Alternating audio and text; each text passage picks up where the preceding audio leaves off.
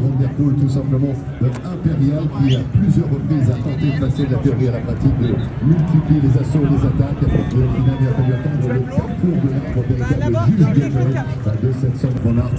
La bataille, le bras de fer était là. Une du Tour des Flandres.